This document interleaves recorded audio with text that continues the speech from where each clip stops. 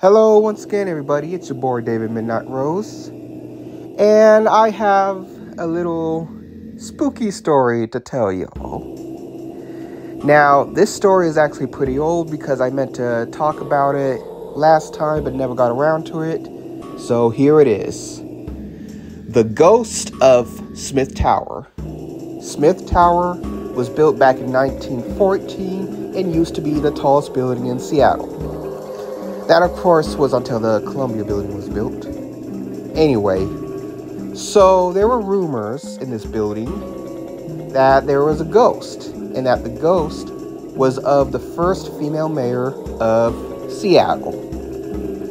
Now, I don't believe in ghosts, but I do believe in spirits, such as who we are under the skin, God, Jesus, Satan, angels, demons things like that.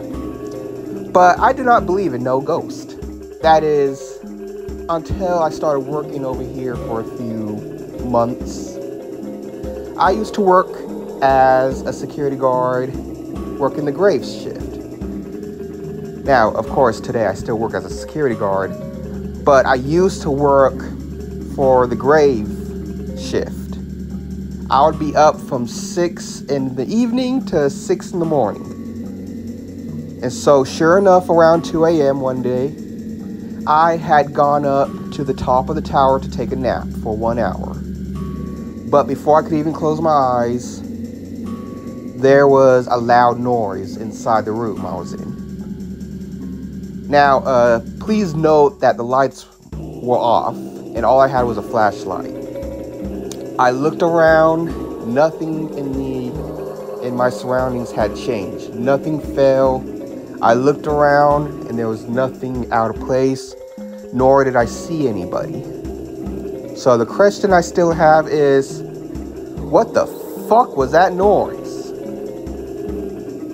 And so without sticking around too long, I went ahead and ran to the elevator and took my ass back down to the first floor. Keep in mind, this is a 37 story building or sorry, it's got 37 floors.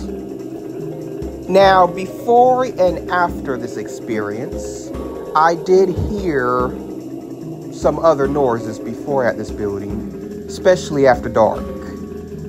I also have seen the elevators act a little weird. Fortunately, I no longer work as the graveyard security guard and now am doing daytime shifts at the parking garage across the street. So, yeah, those creepy nights are over. Now, does this confirm the possibility of a ghost? I can't confirm nor deny it, not without some proper footage. But I'm not about to stick around and find out.